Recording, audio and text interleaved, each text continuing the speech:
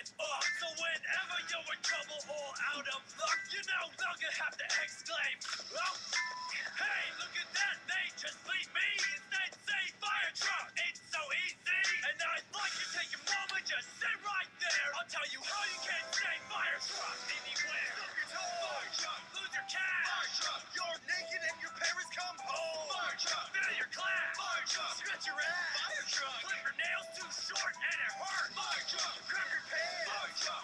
Bite. Fire truck.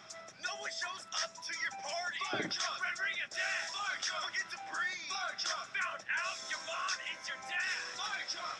Say fire truck every chance you see. It's even more fun when it gets bleak. Say it with me now. Don't make this suck. Fuck. Whoa, man, did you just say No, man, I just said fire truck. But when you bleep it says fuck.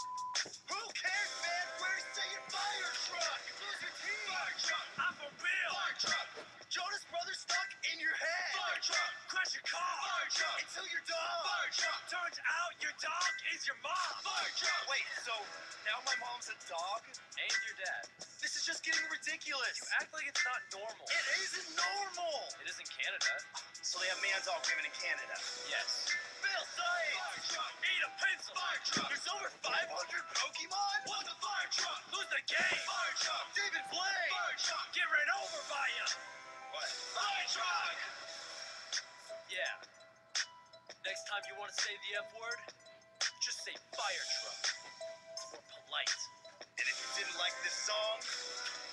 truck yourself.